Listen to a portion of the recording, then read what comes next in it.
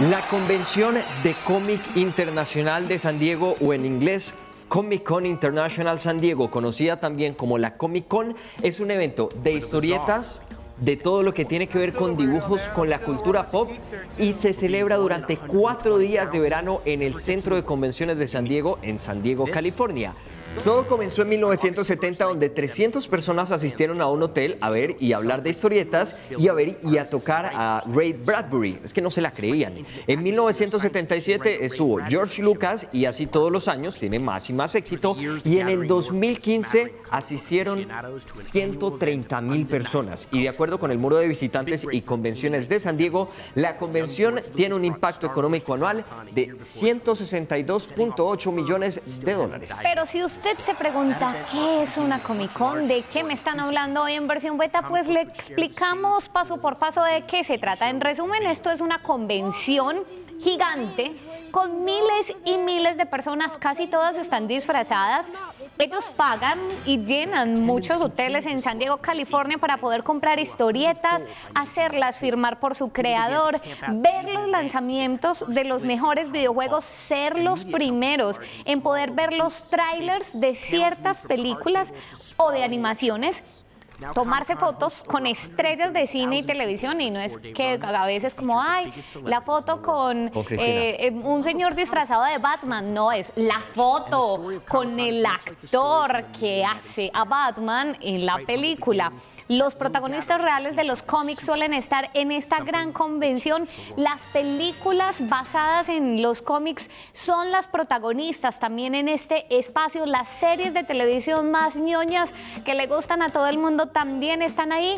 Hay muchísimo cosplay, que son las personas que se visten como los personajes favoritos de sus historietas. Y todos, todos están tomando fotos y pegados a sus celulares y a sus portátiles, consumiendo contenido que tiene que ver con este mundo del entretenimiento. Imagínese, es que si a usted le encantan las historietas y le encanta todo lo que tiene que ver con superhéroes, ese es su lugar de peregrinación.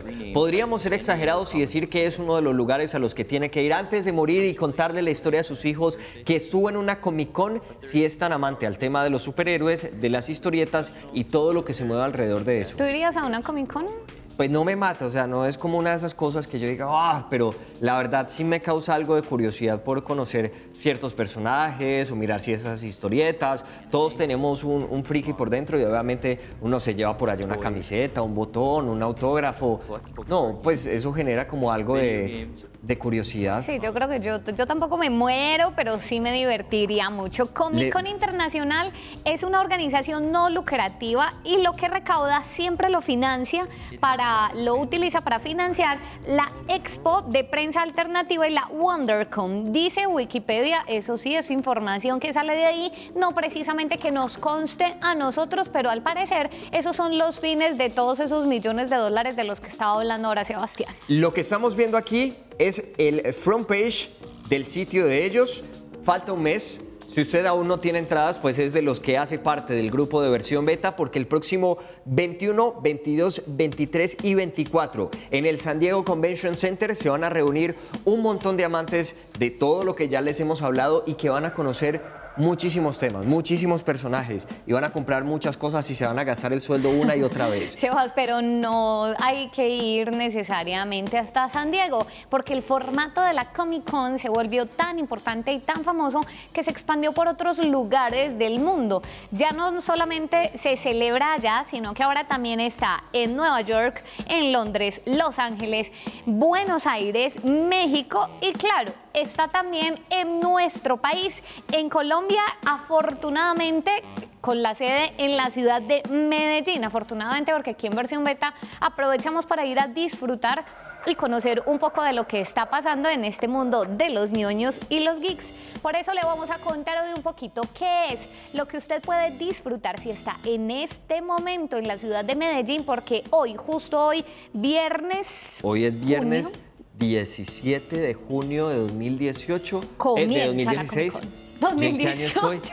Bienvenidos al futuro, solo que no se han dado cuenta.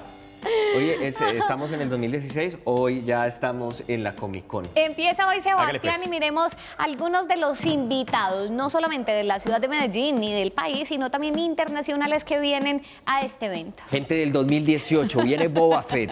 El señor Jeremy Bullock, que es un actor desde el Reino Unido, este tipo interpretó a Boba Fett en la última entrega de Star Wars. Obviamente el trabajo de él ha sido reconocido por todos los que son amantes de esta serie y usted no lo puede dejar de ver série. Junto a él viene también un dibujante, un ilustrador muy importante de Disney que estuvo participando en Star Wars y que estuvo también detrás de toda la imagen del señor Yoda. Vienen los amigos del Enchufe TV, los tuvimos hace poco aquí en versión beta. Ellos tienen una serie web chilena divertidísima, chilena ecuatoriana, ecuatoriana, divertidísima. Estuvieron acompañándonos hace poco aquí en versión beta y vienen también a la Comic Con seguramente a contar cómo ha sido el proceso de elaboración de esta serie web, qué se necesita para hacer series web y cómo convertirse también ahora en un geek que pueda tener su canal en YouTube para entretener. Como les decíamos, varios ilustradores muy importantes harán parte de los invitados a la Comic Con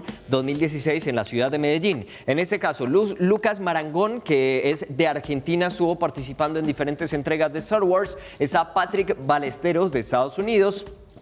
Diana Wamp, que es de cosplay, pero por el horario no la podemos mostrar, Alfred Trujillo, que es de Estados Unidos, un ilustrador, Mariana Villanueva, otra ilustradora, y aquí está uno de los ejecutivos de Walt Disney, por lo menos la parte mexicana, que es el señor Arturo López y que va a hablar de todo lo que hay detrás de esta importante industria que maneja la compañía del ratón. Obviamente, Seba, si usted eh, va a la Comic Con, va a poder encontrarse muchísimas personas comunes y corrientes como usted o como yo, pero que aprovechan este evento para utilizar su vestuario que está siempre guardado ahí en el closet, que sale unas cuantas veces al año para eventos como este y que están relacionados con personajes del mundo del entretenimiento. Así que la diversión está por todos lados. Usted va caminando y de repente se encuentra un Darth Vader, luego luego se va a encontrar un Batman, luego se va a encontrar un personaje de los Simpson y son precisamente, no son necesariamente Sebas invitados, sino que son personas que viven aquí en la ciudad de Medellín o que vienen de otras ciudades a disfrutar de este evento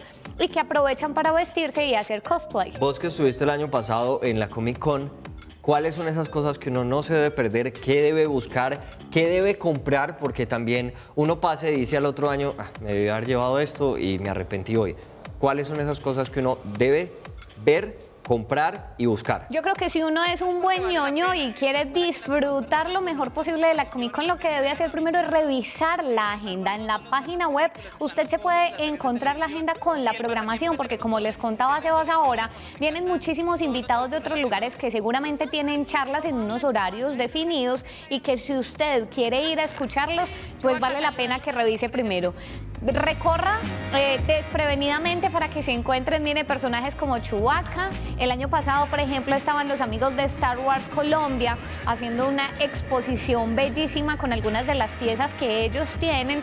Hay lugares en los que usted, como les decía Sebastián, puede comprar camisetas, llaveros, juguetes. Hay espacio también para los dibujantes. Aquí había una mm, el año pasado había todo un pabellón para los caricaturistas. Puede hacerse usted una caricatura eh, en este Comic Con. Y en fin, yo lo que les recomiendo es que vaya cómodo póngase la pinta ñoña o la pinta geek, la pinta de amante del, de superhéroes, del mundo del entretenimiento que usted tenga. Y eso sí, váyase con tiempo, porque no es un evento, Sebas, para que recorras en media hora, 40 minutos, y no todo lo contrario. Uno se puede perder toda una tarde disfrutando de la Comic Con. Las zonas que puede visitar, hay una exhibición comercial que ya es la que nos ha estado contando Cristina. Hay una zona de experiencias donde usted va a poder visualizar diferentes tipos de muestras. Hay una zona específica para los videojugadores y también, espere que lo hundí con el codo. Hay una zona académica que ya nos contaba Cris, las diferentes comunidades que se reúnen en esta Comic Con, meet and greet con los personajes que ya le estábamos contando y finalmente algunos artistas que harán parte de este lugar. que va a ser en Plaza Mayor hoy, pasado y mañana, 17, 18 y 19 de junio de 2016 en la ciudad de Medellín, Colombia. En Plaza Mayor. Ahí les queda a ustedes la invitación para que si están en la ciudad de Medellín se vengan a disfrutar de este evento que como les contábamos ahora nació hace muchísimos años en San Diego, Estados Unidos y que ahora está en muchas otras ciudades del mundo. Y si usted está en otra ciudad y le queda fácil pegarse una pasadita este fin de semana por Medellín, Plaza Mayor Comic Con lo espera. Pero no solo de eso hablaremos aquí en versión beta. Bienvenidos, estos son nuestros titulares de hoy. Hoy en versión beta, en tiempos donde esperamos a que Marvel saque un superhéroe con sombrero, ruana y alpargatas, veremos. Las novedades que trajo el E3 2016. En Sueños de un Mundo Conectado, el tráiler del último documental de Herzog sobre Internet. Hoy el Rosa Literatura eh, Transmedia Pura y Dura. En Río Negro visitamos una casa sostenible. Y si usted quiere saber cuáles son los principales lanzamientos que se anunciaron en el E3, no se mueva a versión beta que después de esta pausa le tenemos una guía completísima.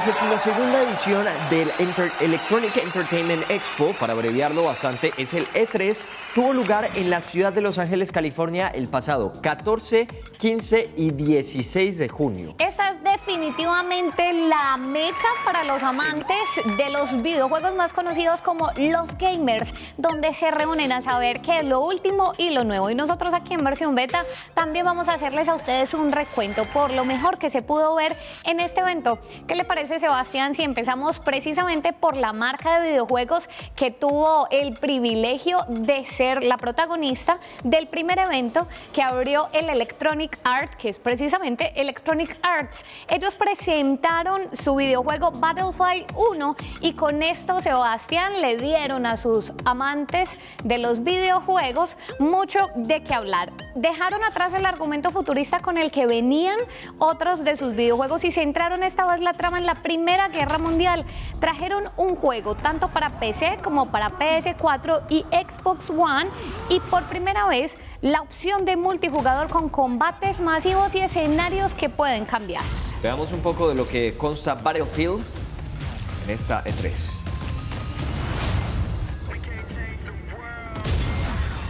Súmele a ese videojuego que muchas de las consolas para las que va a estar soportado ya, ya tienen eh, todo el desarrollo para poder darle a usted imagen en 4K. Así que va a tener máxima resolución de cada uno de los movimientos que hagan, pero no solo hablemos de Battlefield, sino que también metámonos en el lado de Titanfall 2, que ha agudizado muchísimo más su futurismo. Los robots gigantes, las armas super tecnológicas son la base de este juego, que es uno de los más comentados en todos los reportajes del E3. Así se ve un pedacito de este juego que es casi de los imprescindibles en su lista de videojuegos para comprar próximamente.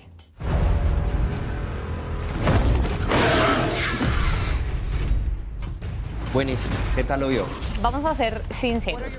Generalmente, hasta yo que solo soy una amante de los videojuegos, porque no soy la gamer más tesa, eh, siempre que pienso en este evento, Sebas, no estoy pensando precisamente en Electronic Arts, sino que estoy pensando en grandes marcas como Xbox o como PlayStation o como Nintendo, evidentemente. Así que veamos un poco de lo que pasó con estos tres grandes de los videojuegos. Comencemos con los señores de Microsoft y su Xbox. Uno de los juegos mm, que más suspiros levantó entre los gamers fue Gears of War 4, donde una nueva amenaza puede acabar con la humanidad entera. Este juego va a estar disponible, atención amantes de Gears of War, a partir del 11 de octubre del 2016.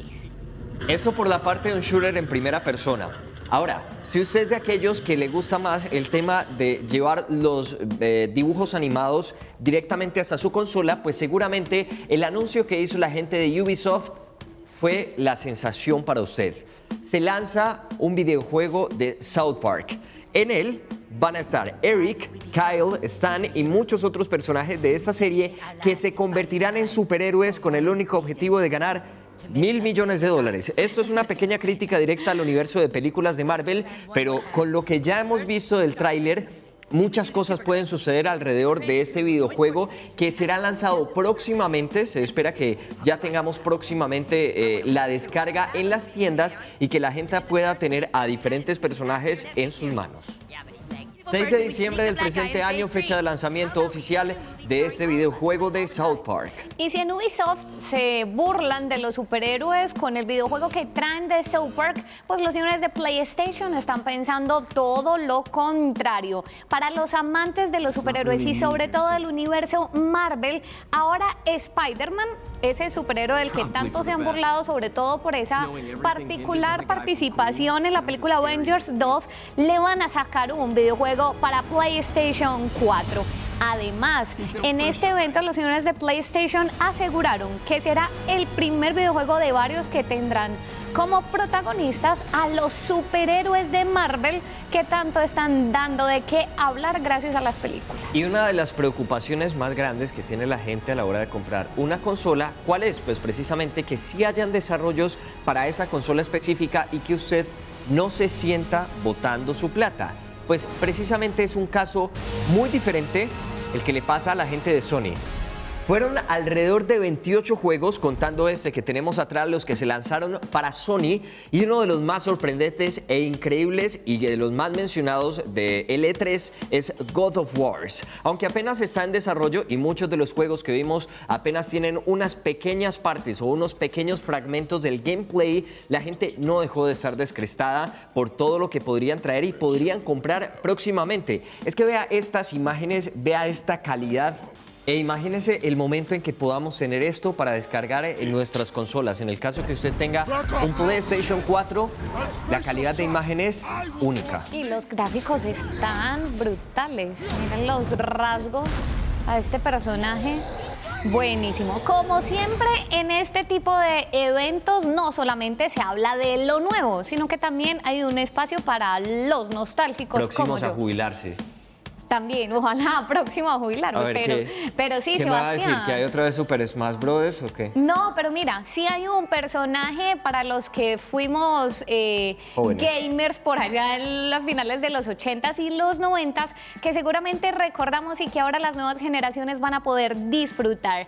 Skylanders Imagination va a tener un personaje, un personaje entrañable para la infancia de muchos de nosotros. Se trata nada más y nada menos que de Crash este será el personaje principal de la entrega de este juego y el objetivo será precisamente que las nuevas generaciones puedan conocer a este personaje y familiarizarse con él y seguramente pasar horas y horas de entretenimiento como lo hicimos muchos de nosotros en nuestra infancia distinto, muy distinto al que nos tocó a nosotros, todavía muy básico, pero ahí está nuestro queridísimo Crash. No vamos a ahondar en este tema, ahondemos más bien en el tema de consolas, porque si usted por esos días está buscando qué consola comprar, le contamos que se lanzó oficialmente el Xbox One S, que es básicamente una renovación del Xbox One. También se anunció que los juegos para Xbox traerán su versión para Windows 10, lo que estaría dejando claro que Microsoft está muy interesado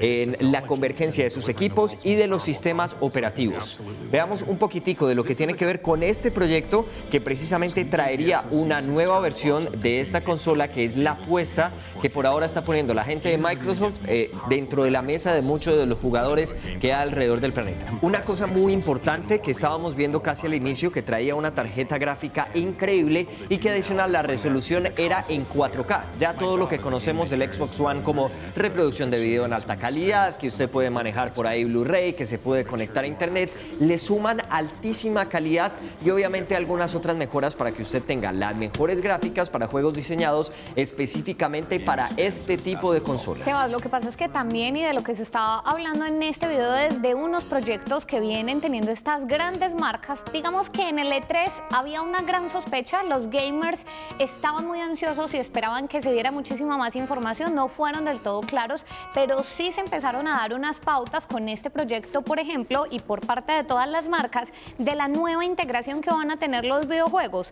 4K, realidad virtual y realidad aumentada, tres cosas que definitivamente son las que van a integrarse ahora en los juegos de video. Microsoft, por ejemplo, aparte de presentar la actualización del Xbox One S que del que tú estabas hablando, también estuvo uh, hablando un poco, dio unos pequeños avances de un proyecto que se llamará Project Scorpio, que planean sacar para el próximo año. Sony anunció ya la introducción de sus PlayStation VR, que son las gafas de realidad virtual para este año. Por parte de Nintendo sí no se dijo mucho eh, frente a este tema de las futuras consolas y menos de la integración con estas nuevas tecnologías tampoco se habló de las Nintendo NX, que son como las gafas eh, de las que se ha escuchado hablar también por parte de Nintendo, pero ya está más o menos claro que estas son las tres grandes eh, jugadas que vienen para las consolas y para los videojuegos. Sobre esas jugadas, obviamente la gente que es más asidua al tema de videojuegos o que está mucho más cercana a tener altísima calidad dentro de sus juegos no quedaron muy impresionados. Sin embargo, la gente de PlayStation fue de pronto un poco más agresiva, reafirmando sus apuestas con la nueva tecnología que incluye Fairpoint, que es un hombre, en este caso vamos a ver la historia, un hombre y una mujer que se encuentran patrullando el desierto de un planeta que ni siquiera se encuentra en las cartas espaciales, pero que sin duda está lleno de retos. Este está en la oferta que se vio dentro de muchos otros videojuegos, entre los que se incluyen Resident eh, eh, Evil 7, Biohazard y Batman, que es una oferta de videojuegos que trae realidad, aumenta, eh, realidad virtual perdón, y que nos hará comprar sea unas gafas lo más pronto posible o tal vez mirar un poco más los gameplay para poder tomar la decisión adecuada.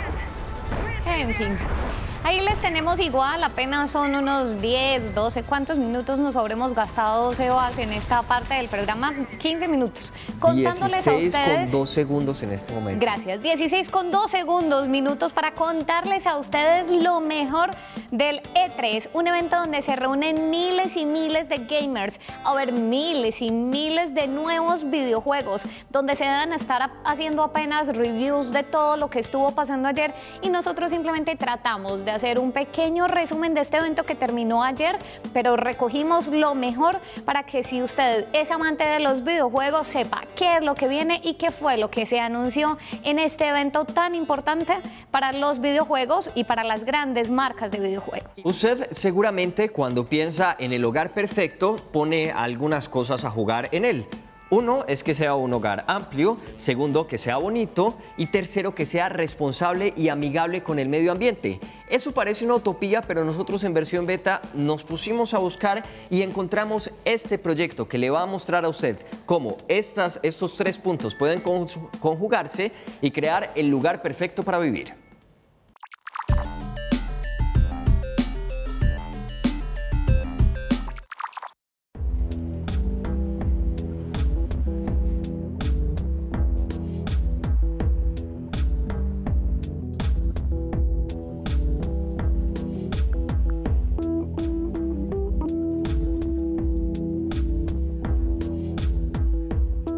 Definición de una casa sostenible es ser consciente. Ser consciente y traer las teorías de los abuelos a una actualidad, digo yo. Eh, es un tema de recoger eso, como nos decía la abuela, el agua, eh, y reutilizarla. Acá tienen una casa sostenible, la primera en Latinoamérica, en estándar Gold, eh, un reto. Una casa sostenible no tiene que ser en tapia, empezando por eso. Hay mucha tecnología que nos refiere a manejo de materiales y a diseño, ¿cierto? Entonces, digamos, utilizar el sol con una ventanería o, con unas entradas de luz nos da una sostenibilidad, pero también nos enlaza que el uso o el gasto de los recursos se pueden medir y ser más eficientes. Esto entonces la domótica o la tecnología. La casa pues tiene a lo largo diversas tabletas donde puedes controlar y programar los servicios como eh, cortinas, iluminación, extractores y también referencia de seguridad y apertura, ¿cierto? Más el sonido que es un tema de ambientación.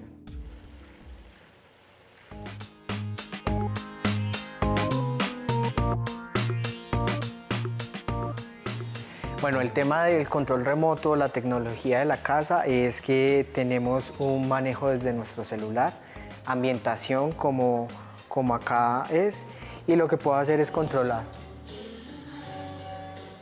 Bajar, subir, seleccionar emisoras de todo el mundo eh, o enlazar con mi propia lista de mi celular o algún reproductor que tenga en la casa o enlazar a los televisores.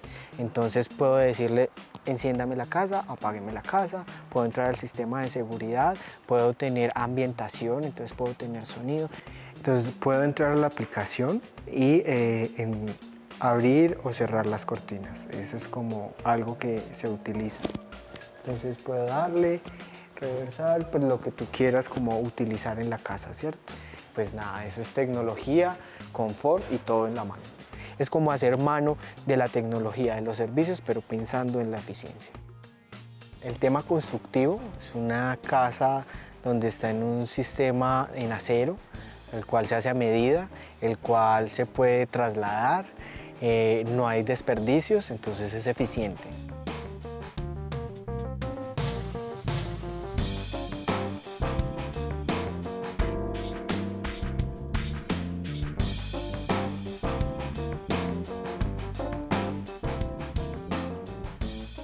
La captamos, la llevamos a potabilizar, la inyectamos, la utilizamos como tal en todos los servicios de la casa y la subdividimos. Las negras eh, se van a, infiltración y las grises se limpian y se reutilizan.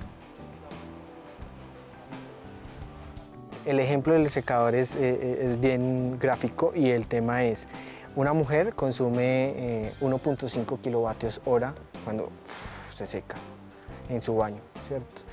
Nosotros tenemos 780 bombillas y consumimos 2.2 kilovatios hora, o sea, 0.5 más que un secador de una mujer. Este número de, bombillas es casi una manzana de vivienda en un barrio normal en cualquier ciudad. Entonces es como pasar de ese concepto de tener algo eficiente e invertir en algo eficiente como son las bombillas LED para tener un beneficio futuro y a largo plazo, que es el no pago de tanto recurso, de tanta energía.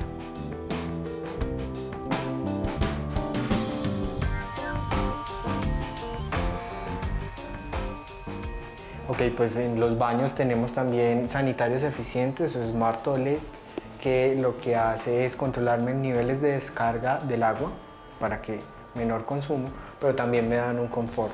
Entonces yo puedo llegar, él se abre, puedo controlar y programar, entonces puedo vaciar por niveles, pero también tengo radio, tengo temperatura, tengo bidets, tengo secado y pues es algo eficiente dando un tema de confort.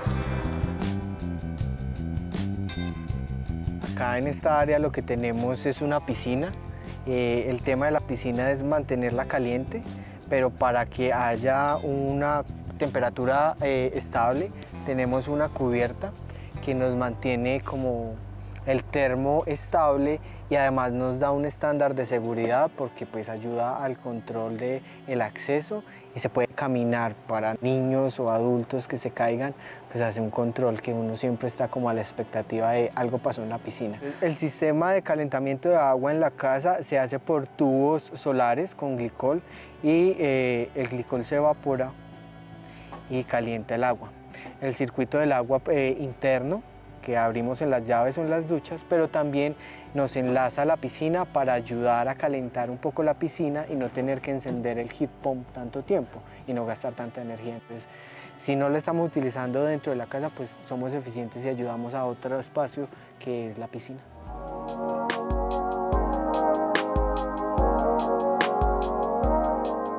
Qué pasa en este corredor, que nos ilumina, nos mantiene la casa como muy viva, pero también en el atardecer nos calientan los muros y nos da temperatura al interior de la casa. Por algo es la casa la primera certificada en el mundo Homes que no utiliza HVAC, o sea, aire acondicionado y temperatura por el perfecto para ellos clima en el que nosotros eh, estamos o vivimos.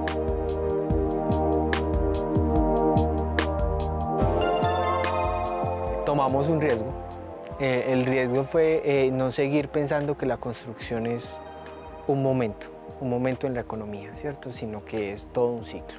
Dar ese cruce del concepto de solamente entregar cajas, sino entregar de, verdad eh, experiencias de habitabilidad, ¿cierto?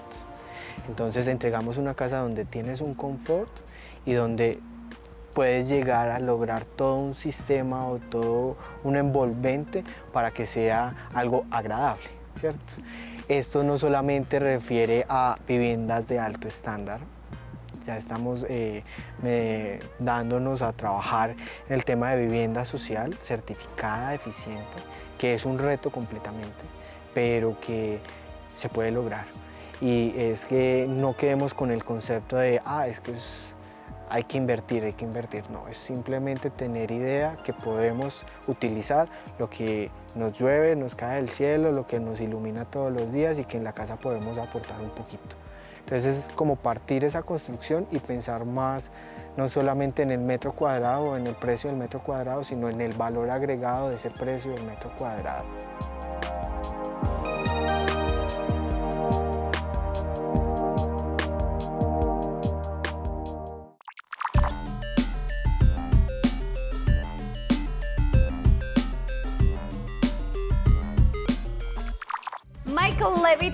creador de King Cuts, una serie de pequeñas esculturas en donde grandes directores como George Lucas, Hayao Miyazaki, Steven Spielberg, entre otros, se funden con los personajes de las películas que los volvieron inmortales. Vea usted las imágenes y trate de reconocer quién es su director favorito y cuál es la película que está representando. Hoy en versión beta hablamos algo sobre el festival que se estará llevando este fin de semana, si es que nos está viendo el viernes, para que usted no se lo pierda y se conecte a todo lo que tiene que ver con el mundo de los superhéroes, los cómics y lo que hay alrededor de él. Y también les estuvimos contando qué fue lo mejor que pasó en el evento más importante para los amantes de los videojuegos, el Electronic Entertainment Expo. Ahí eh, las grandes marcas como PlayStation, Xbox y Nintendo contaron cuáles son esos videojuegos que vienen y nosotros hicimos un pequeño resumen para ustedes aquí en versión beta. Nosotros nos vemos de nuevo la próxima semana con más actualidad y tecnología a las 8 de la noche en Canal 1 con esto que es versión beta.